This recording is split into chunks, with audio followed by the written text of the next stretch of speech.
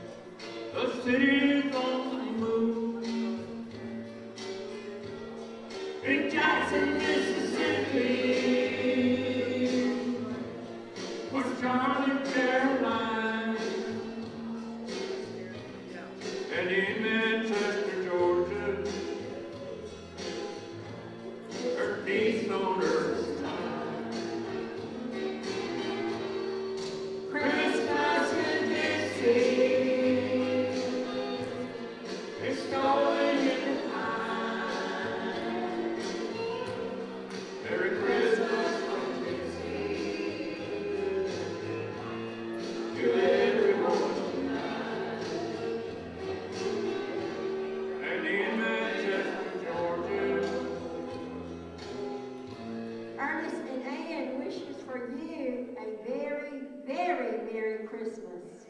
Amen.